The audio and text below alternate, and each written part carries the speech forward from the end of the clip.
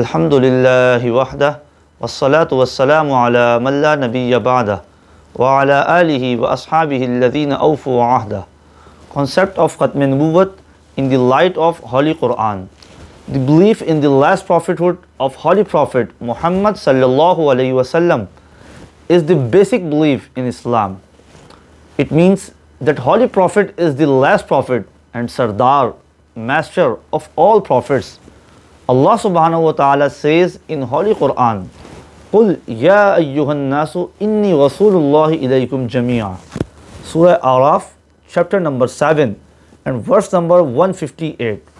Say, O Muhammad, O mankind, indeed I am the messenger of Allah subhanahu wa ta'ala to you all from him, to whom belongs the dominion of the heavens and the earth. There is no deity except him. He gives life and causes death. So believe in Allah subhanahu wa ta'ala and his messenger, the unlettered prophet who believes in Allah subhanahu wa ta'ala and his words and follow him that you may be guided with him. Allah subhanahu wa ta'ala has completed the divine message for mankind forever. Neither any messenger of Allah subhanahu wa ta'ala nor any holy script will be sent to the mankind from Allah subhanahu wa ta'ala. Allah subhanahu wa ta'ala himself became protector this last divine book for the guidance of mankind until the end of the world. Allah subhanahu wa ta'ala says in Holy Quran, Al-Yawma akmaltu lakum deenakum wa atmamtu alaykum ni'mati wa raditu lakum al-Islam adina. Surah Al-Maidah chapter number 5 verse number 3. I have completed deen for you and all blessing on you and Islam is selected as deen for you.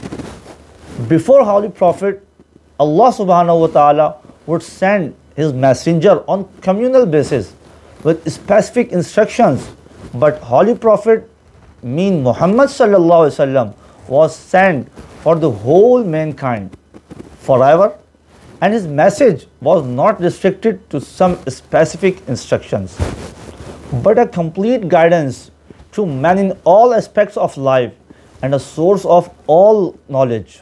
Holy Quran says, ما كان محمد أبا أحد من رجالكم ولكن رسول الله وخاتم النبيين وَكَانَ اللَّهُ بِكُلِّ شَيْءٍ عَلِيمًا Surah Al-Ahzab, chapter number 33, verse number 40.